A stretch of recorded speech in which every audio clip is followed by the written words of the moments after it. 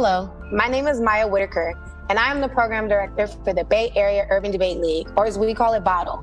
We created this video to share the important work that the students and staff continue to do during quarantine. BAUDL has not been derailed by COVID.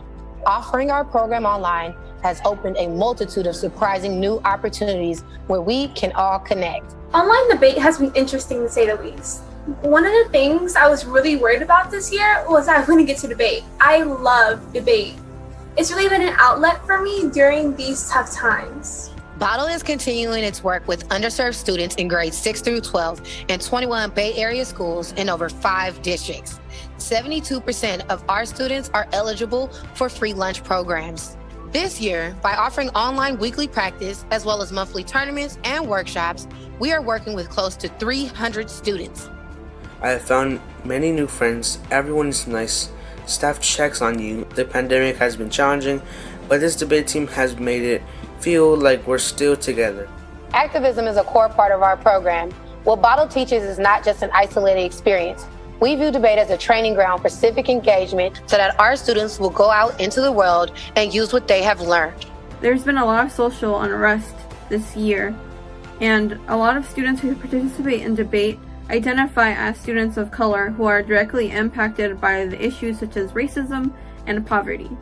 Debate is more important now than ever because it provides a safe space for these students and it lets them know that their voice matters. What we're debating about this year is the criminal justice system.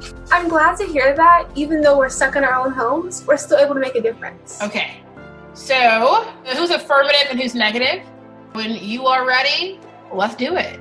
Police violence is rampant. More people are killed every day by police than are killed in a whole year in other countries. Minority groups, in particular black men, are at the greatest risk.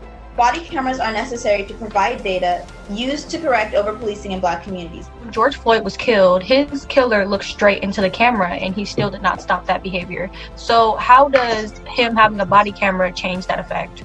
The problems with policing are just too messy and complicated for one piece of technology to fix.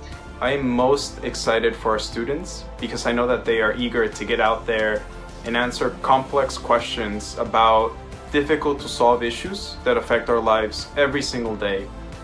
That's why BAUDL is a critical program because it enables student activism and leadership in underrepresented communities. And to me, that's a real world impact. The average GPA of an urban debater is 3.23. 90% of urban debaters graduate on time. Urban debaters are three times more likely to graduate than non debaters. 86% of urban debaters enroll in college.